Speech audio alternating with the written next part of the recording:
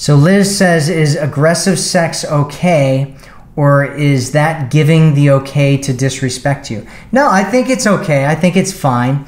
I, I, I think it, it it's one of those things, especially like when people have sex, it's like all of a sudden this animal part of ourselves takes over. This primal animal part takes over, and it's like we become different human beings, and we do this stuff, and we're ah, ah you know, we're making all these faces and these moaning and these grunting and this ah, you know, and just all this crazy stuff is happening, and then it's all of a sudden like boom, you know, we're normal people again, and it's like whoa, you know, just that was crazy, you know, and it's it's like it, it's I don't think it's that big of a deal because the world of physical intimacy is a different world than the world of like regular life. And so a lot of times that can be in this place where you're doing that and you're experiencing that and it's not really a big deal. Sorry, I was just doing something. It's not really a big deal